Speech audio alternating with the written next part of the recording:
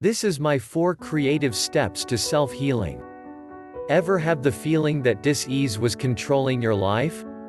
Perhaps it's not even a chronic illness. Do you harbor anger? Resentment? Frustration? Maybe it's just me and I'm talking, but I've let all of these rule my life at some point. Therefore, in this video, I thought we'd take a look at 4 creative steps to healing. From it, I hope you'll gain insight into yourself, your behaviors and perhaps the way you deposit or withdraw from your own health currency. Step 1. Understand your energy. We've all heard about the aura that surrounds the body, but what could this possibly have to do with our health? According to Carolyn Myss in her audio program, Why People Don't Heal, the energetic exchange that happens within this field is where our thoughts become translated into energy. Or what she in terms called one's biography becoming their biology. Translation, these cycles or waves of energy that surround our body are a function of our thoughts. Thoughts are energy waves then, that affect our health in a positive or negative way. Let's look a little closer to see why? The contributors to this energy, surrounding the body are the seven major chakras. Chakra in Sanskrit means wheel or vortex. It may help to note that Myss refers to each energy wheel as a computer, one which collects and interprets information and perceptions the mind has about the world. It has been shown scientifically that each of these seven wheels of energy corresponds to a particular endocrine gland in the body. Translation, in light of the adage, you are what you eat. We could conclude with some degree of certainty that you are what you think. Step 2. Let go of old wounds. Now that you've been, hopefully, examining your thoughts and translating all of your negative energy into positive, Myss throws another curveball. Would you agree with her that healing is unattractive? I needed some time to think about this. Why in the world would healing be unattractive? Answer According to Myss, our wounds give us power. And after careful contemplation, I've outlined three ways I have done this, myself. Ask yourself, are you leading with your wounds? You'll know, if you have done any of the following. 1. Used wounds to manipulate a situation or a person. Let's say we find a situation unsavory, scary or inflaming a personal, hot button. Have you ever avoided a situation when you really needed to face head-on? Or, how about this one, I just can't get into this relationship, I've been burned before. Okay, maybe I am just speaking to myself, but I admit, I've used my wounds more times than I care to admit to refrain from loving unconditionally. 2. Use them to attract other wounded souls, who want to exchange in the wound game. I've also done this myself. In listening to another, share their wounds, I've given up compassion for wound ante, ill see you and raise you one. I agree, there is a difference between healing from a wound, and leading with a wound, but, in my humble opinion, I'd be willing to bet that we know the difference, between being healthy and not.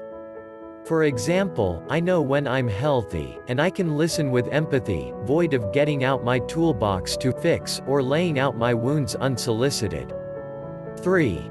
Give up our ability to listen.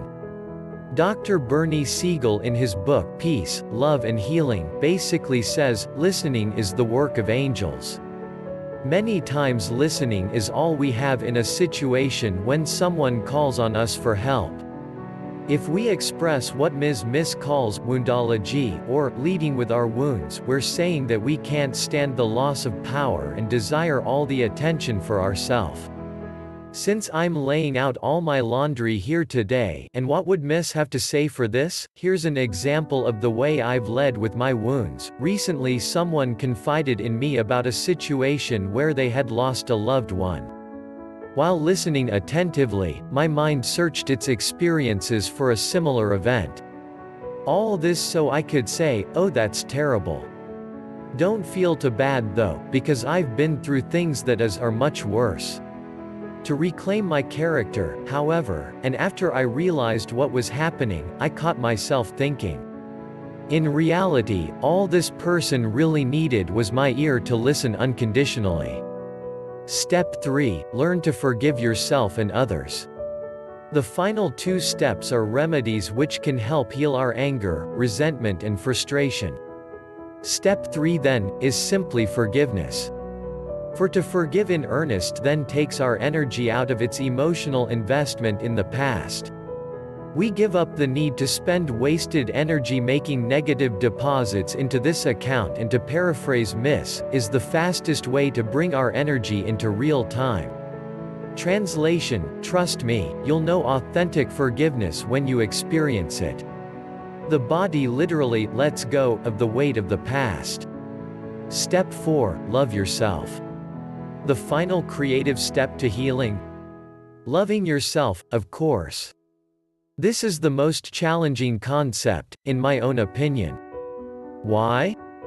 To begin, we must start where we are, and love and accept ourselves for who we are, today. How does this help our health? It's simple. When we realize that we are stunting our personal growth and health through negative self-talk, we can then begin to love ourselves one piece at a time. Here's how it's done. Note, beware, this practice may seem untraditional yet, if you'll consult Louise L. Hay's book, You Can Heal Your Life, you'll find that this is one of the remedies she used to heal herself from cancer. Every day spend 15 minutes in the mirror sending love to yourself. Start small by finding one part of yourself where you can find perfection. Each day, or week, or month choose new parts of yourself to love. Before long, you'll find an image of perfection before your eyes. And you'll have purified your energy.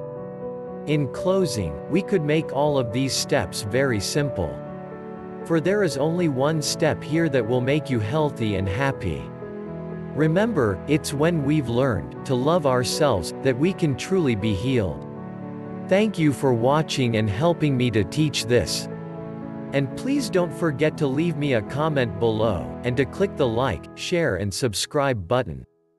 Bye.